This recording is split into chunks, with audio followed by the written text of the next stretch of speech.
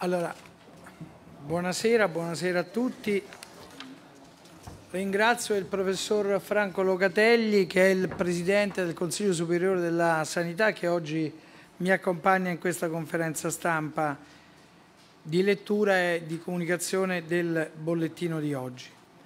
Partiamo dal numero dei guariti. Oggi registriamo 414 guariti, eh, quindi un numero più elevato di guariti di ieri e porta il totale a 2749.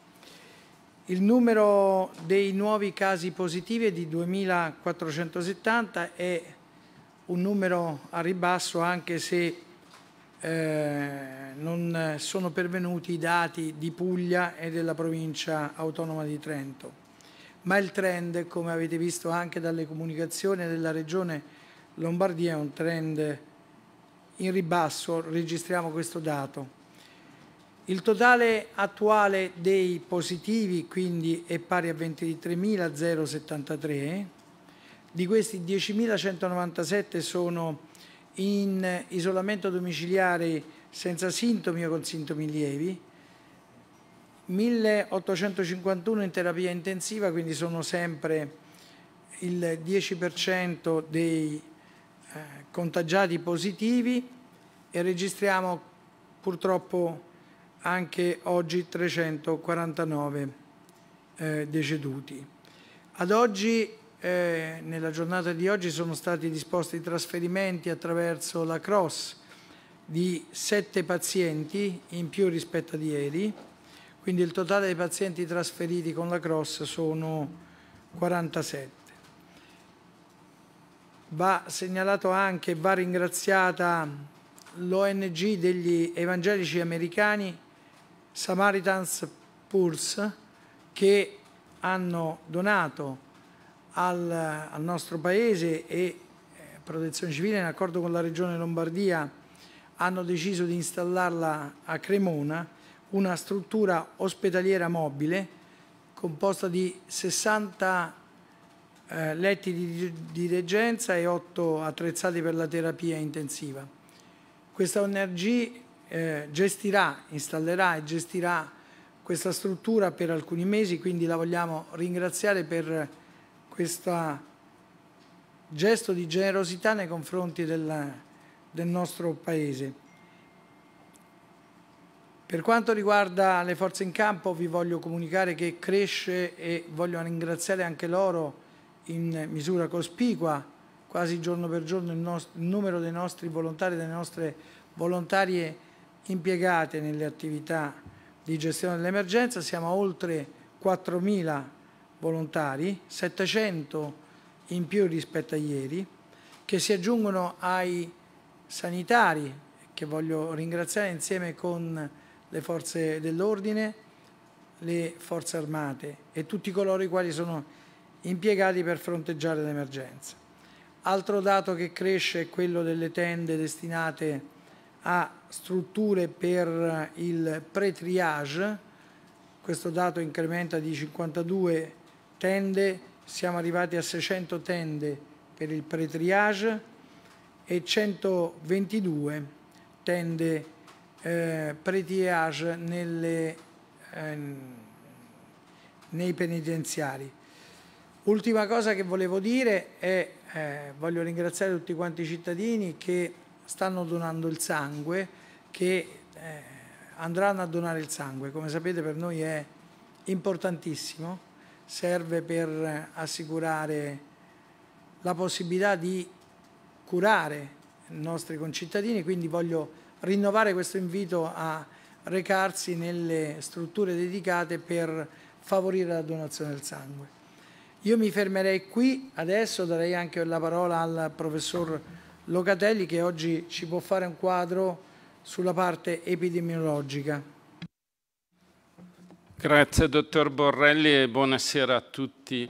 Eh, riprende esattamente quel che il dottor Borrelli ha toccato nella parte finale del suo intervento perché ha menzionato due aspetti straordinariamente importanti che sono parto dall'ultimo, il ringraziamento ai donatori di sangue. Va detto chiaramente che la donazione di sangue è quanto mai importante in questo momento perché consente al Paese di far fronte a tutte le esigenze trasfusionali che evidentemente non vengono meno. Ci sono dei cittadini del nostro paese che hanno regolarmente bisogno di fare le trasfusioni su tutte citiamo l'esempio dei talassemici piuttosto che c'è il bisogno di avere emocomponenti disponibili per gli interventi di chirurgia maggiore piuttosto che per i trapianti di organo solido. Quindi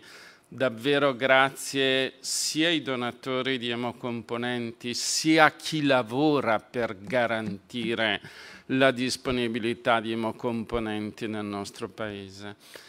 E poi il dottor Borrelli ha detto un'altra cosa importantissima, il ringraziamento a tutto il personale sanitario, a tutte le forze dell'ordine, a tutte le forze armate. Allora questo mi offre il destro per provare a condividere con voi cinque riflessioni che sono nell'ordine. Questa è una situazione emergenziale in cui il nostro Paese sta mettendo in campo le migliori risorse e le migliori intelligenze per affrontarla nella maniera più efficace possibile e per ridurne l'impatto evidentemente soprattutto per la salute dei cittadini, ma anche per la tenuta del sistema sanitario nazionale.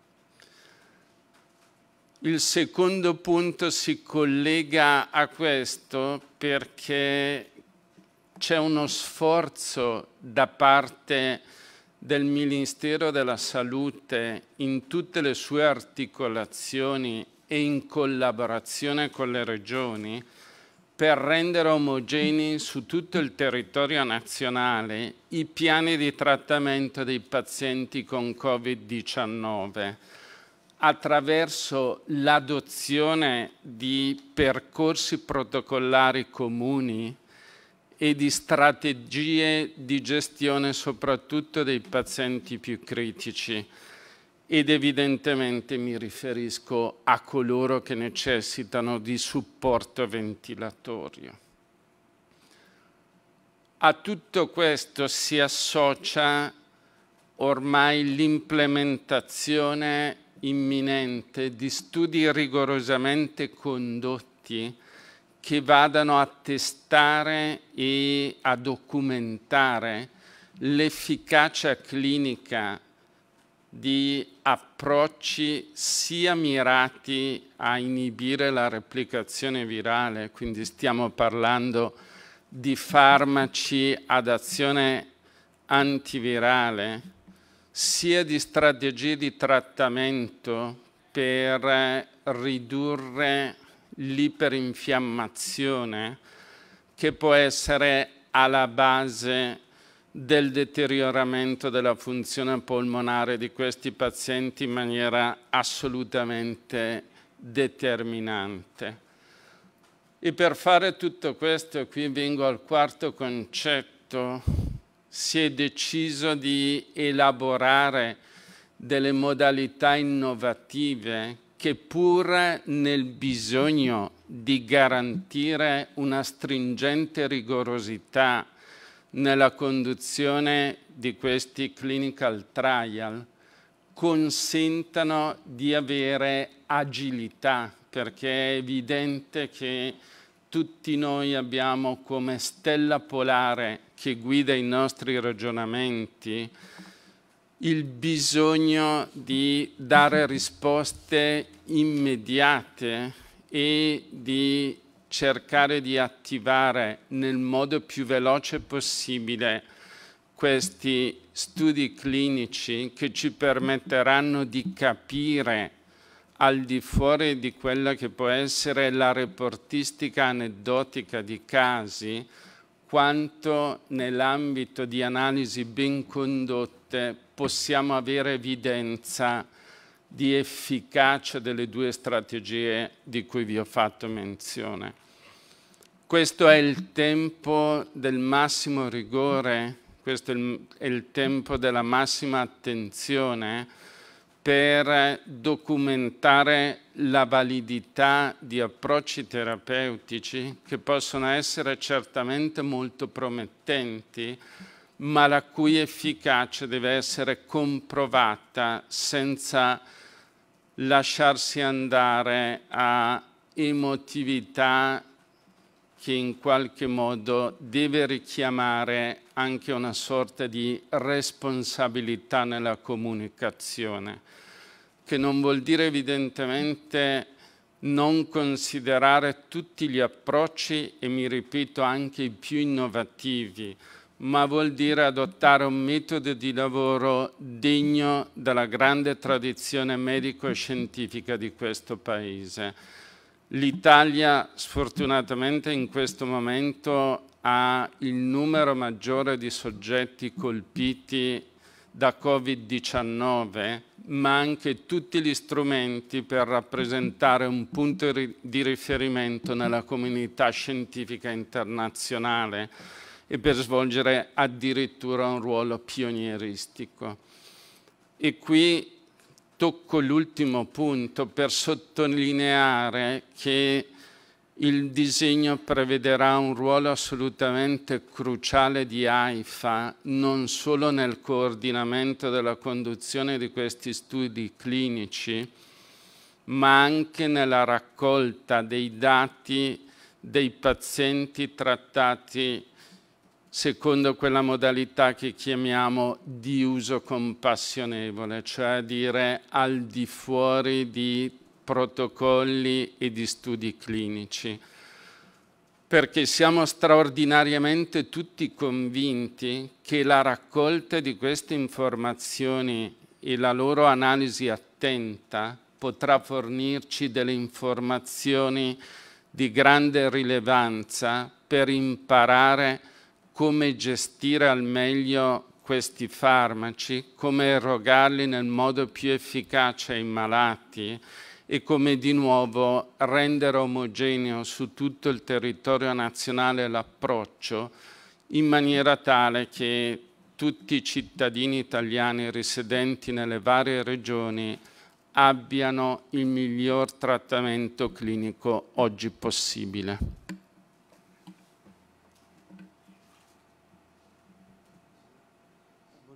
Giuliano Bormioli, Agenzia Nova. Volevo capire se è possibile identificare le ragioni per cui nella provincia di Bergamo e nella provincia di Brescia si registra il numero più alto di contagi eh, su base quotidiana rispetto a tutto il paese. Fra l'altro negli ultimi sette giorni entrambe queste due province hanno fatto registrare un numero di contagi superiori a quello dell'Emilia Romagna ed anche del Veneto. l'altra domanda che volevo fare era, volevo capire se le, risorse, le prime risorse stanziate oggi nel decreto economico varato dal governo in merito alla protezione civile e al sistema sanitario sono sufficienti per questa fase emergenziale? Grazie. Sì, sulla prima parte eh, provo a dare io una risposta. È chiaro che quello che stiamo vedendo oggi riflette ancora la situazione in termini di diffusione del contagio che avevamo 12-14 giorni fa per vedere compiutamente in termini di riduzione del numero dei soggetti contagiati e soprattutto auspicabilmente, mi permetto di dire, è quello che più conta, una riduzione marcata dell'impatto clinico sui pazienti inteso come soggetti che sviluppano insufficienza respiratoria devono essere ricoverati o addirittura ammessi alle terapie intensive, vi è bisogno di ancora qualche giorno per vedere esattamente con il dovuto e l'appropriato intervallo temporale quello che è l'efficacia su cui evidentemente crediamo non tanto ma tantissimo delle misure di contenimento. Quindi ad oggi non può essere considerato, si può considerare un numero anomalo o no, quello relativo a queste due province? Grazie. Non è anomalo rispetto a quella che era la situazione di un paio di settimane fa. Per quanto riguarda le risorse stanziate oggi per la protezione civile e per l'emergenza sono sicuramente quelle necessarie, sono sufficienti e sono convinto che qualora noi dovessimo avere bisogno di ulteriori risorse saranno resi disponibili dal governo. Buonasera, sono Sabene del TG2. Volevo fare una domanda intanto al dottor Borrelli rispetto alle mascherine o tutto il materiale di, in dotazione per la sicurezza personale di fatto. C'è un problema adesso quasi centrale delle mascherine, dottore, anche perché se non sbaglio eh, i 19 milioni di pezzi che dovevano arrivare in Italia sono ancora bloccati, mi smentisca se sbaglio, e addirittura si doveva arrivare a 50 milioni eh, nel corso di questa settimana, ma forse a questa cifra non, non, si arriverà mai. E poi a che punto è anche la, dire, la rigenerazione di alcune aziende, di alcune imprese rispetto alla produzione di mascherine. Una domanda che volevo fare invece al professor Locatelli è rispetto a queste misure come, dire, di igiene che le persone chiedono sempre. Prima di entrare in casa, il lavaggio delle, degli abiti, delle scarpe e quant'altro, si sta esagerando secondo lei o c'è una possibilità reale che il virus abbia comunque una vita comunque eh, che perduri sul, uh, su, sugli abiti, sulle, sulle scarpe e sulle superfici in generale? Grazie. Allora, il tema delle mascherine è un tema che ci vede molto impegnati. Come ho già detto nei giorni scorsi, registriamo in molti paesi da dove arrivano le nostre forniture blocchi e interruzioni delle forniture dovute a decisioni dei governi di interrompere eh, l'esportazione per garantire anche l'autosufficienza di questi paesi. Quindi stiamo lavorando, stiamo lavorando. Io personalmente ricevo tantissime eh, richieste di eh, aziende che si propongono per produrre delle mascherine e nel decreto legge c'è anche una misura che consente di realizzare mascherine nel, sul territorio nazionale secondo standard che sono comunque adeguati ai livelli di sicurezza ma che non eh, debbano poi rispettare quelle procedure così lunghe e farraginose per avere una autorizzazione. Quindi questo dal punto di vista della produzione immaginiamo che a breve si possa avviare una produzione nazionale, molte aziende lo stanno già facendo e ci auguriamo che avvenga quanto prima. Per quanto riguarda i numeri, lei li ha ricordati, 50 milioni era il valore complessivo delle commesse che avevamo, in realtà abbiamo ancora questo valore e eh, comunque insufficiente rispetto alla dotazione mensile che noi abbiamo. Stiamo lavorando per incrementarlo. Grazie per la domanda. Provo a risponderle ripartendo da un concetto che definirei quasi di fisiologia, nel senso che un virus per vivere e replicarsi ha bisogno di cellule, da solo altrimenti non ce la fa per capirci.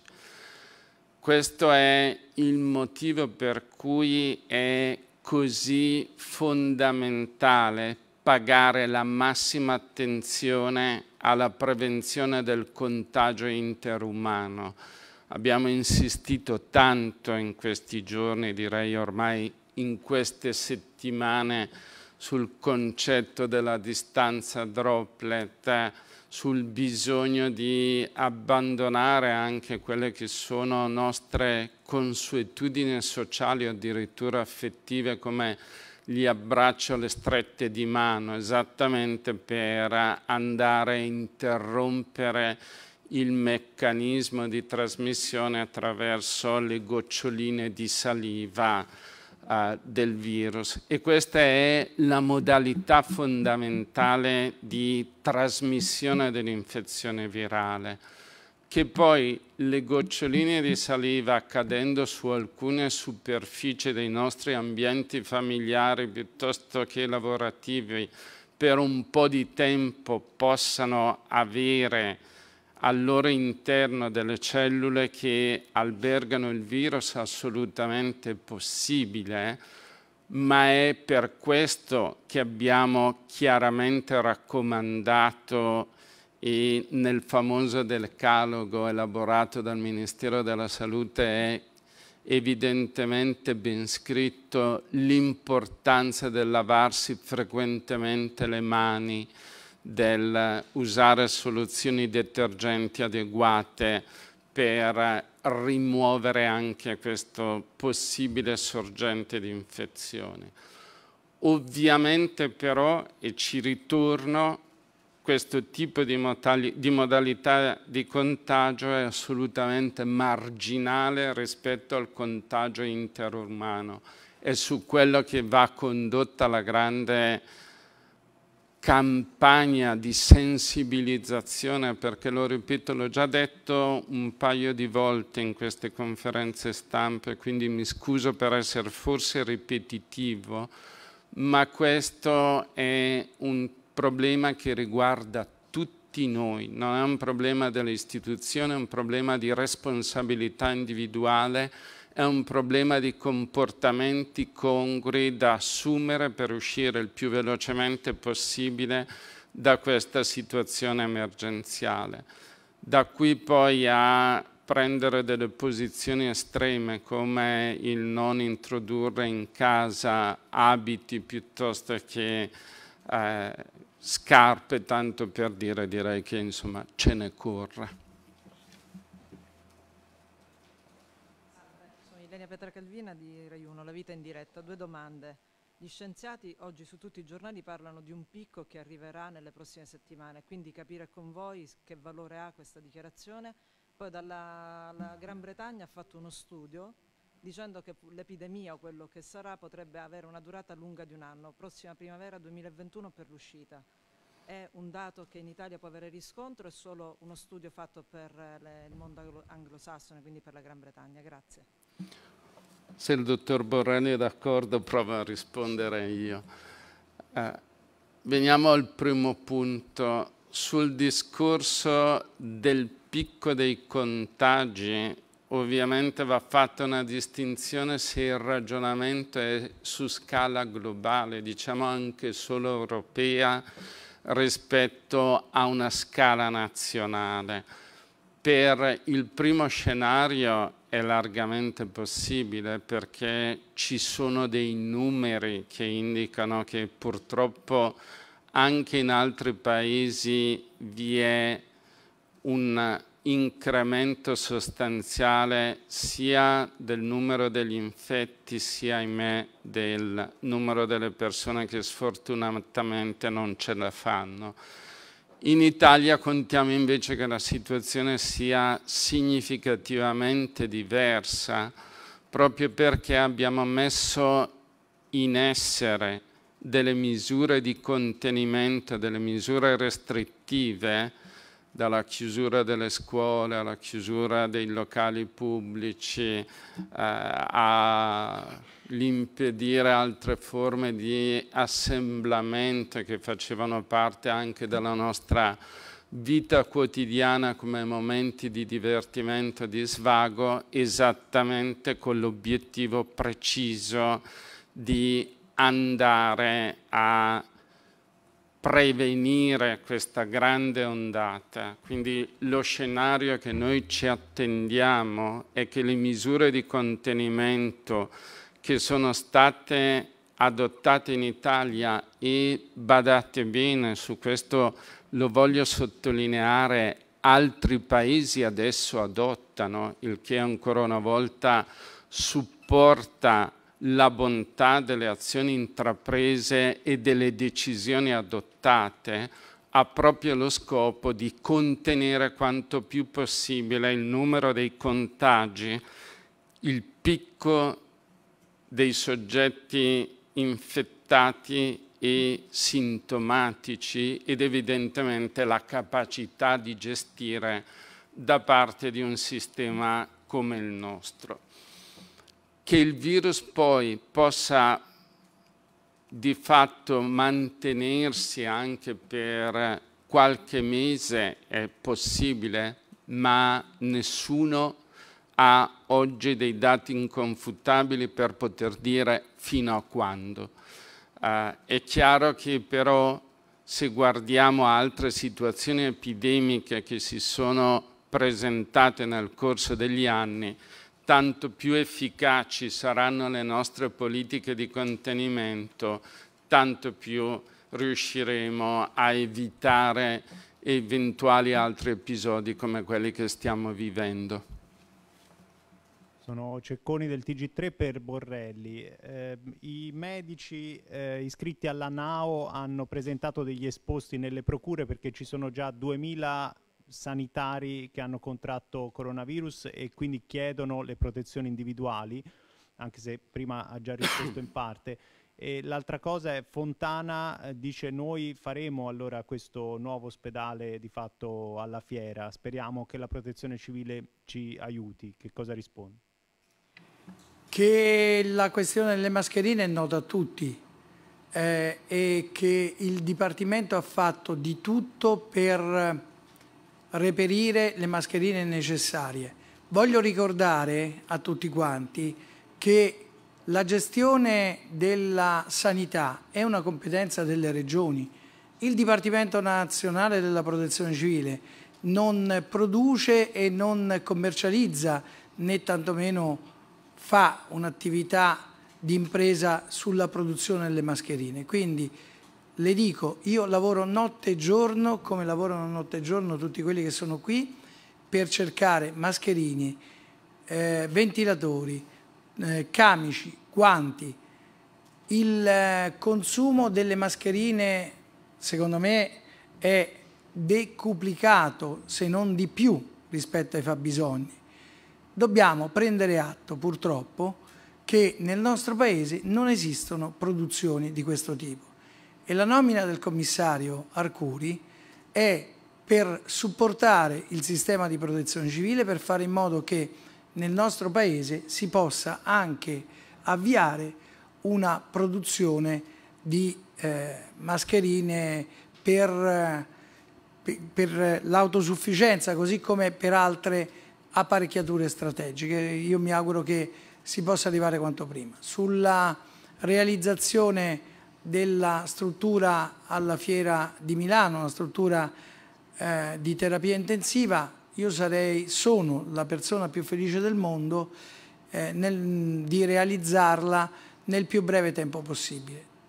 Anche lì il tema è le apparecchiature. Stiamo dando alla Regione Lombardia i ventilatori, stiamo facendo un, progr un programma di potenziamento, come sapete, con, eh, compatibilmente con quelle che sono le esigenze anche delle altre regioni.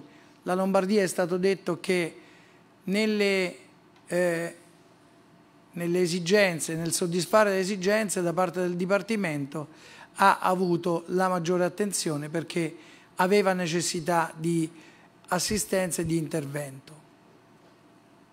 Attianese dell'ANSA, al netto dei dati ancora mancanti su Trento e su Puglia, sembra di aver capito che le cifre mh, ci dicono che la curva di incremento non cresce più come ieri. Voi come interpretate queste, queste cifre oggi? Stanno funzionando uh, i provvedimenti presi, stringenti e in qualche modo stiamo attraversando quello che era il picco e quindi siamo in una fase che potrebbe portarci a, lentamente a una non dico decresci- una decrescita degli aumenti in questo senso?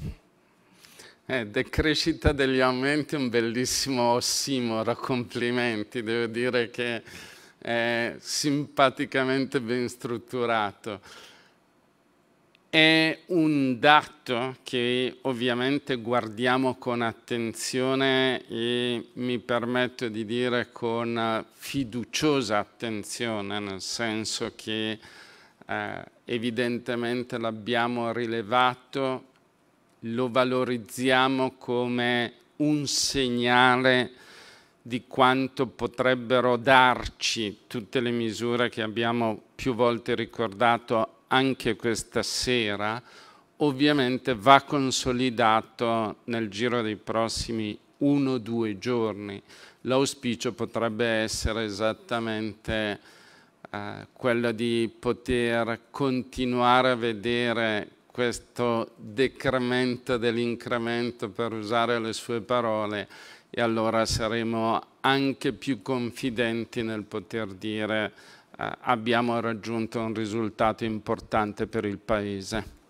Una domanda proprio flash a Borrelli. Eh, avete già avviato oh, contatti con strutture ospedaliere private per insomma, l'aggiunta di ulteriori posti in terapia intensiva, al di là, oppure in generale se un, esiste già un concreto piano di potenziamento delle strutture ospedaliere, innanzitutto a partire da quelle pubbliche? Sicuramente sì, questo piano di potenziamento ne abbiamo parlato più volte, il Ministero ha chiesto a tutte le regioni di incrementare del 100% i posti di terapia subintensiva del 50% dei posti di terapia intensiva, leggete anche voi, vedete anche voi che ci sono continue attività di allestimento di strutture sanitarie dedicate alla cura del Covid-19 quindi è un'attività che il Ministero della Salute in accordo con le regioni sta portando avanti nell'ambito della pianificazione sanitaria. Sulle strutture private ovviamente si stanno utilizzando anche le strutture private e le regioni ognuna si regola secondo quelle che sono le esigenze regionali. Mi risulta che nella regione Lombardia le strutture private stanno dando un grande contributo, hanno aumentato il numero dei posti messi a disposizione del servizio pubblico e hanno ricevuto, ieri l'altro ieri eravamo a oltre 200 eh, pazienti ricoverati. Buonasera, Giorgia Sodora di N Cronos. Eh, oggi l'Organizzazione Mondiale della Sanità ha sottolineato nel corso di un briefing che eh, anche i giovani e i bambini, insomma, sono, ci sono stati casi gravi e morti. Volevo capire in Italia il dato aggiornato sul contagio dei bambini, eh, vittime credo che non ce ne siano state. E, se c'è una percentuale insomma, aggiornata. Grazie per la domanda.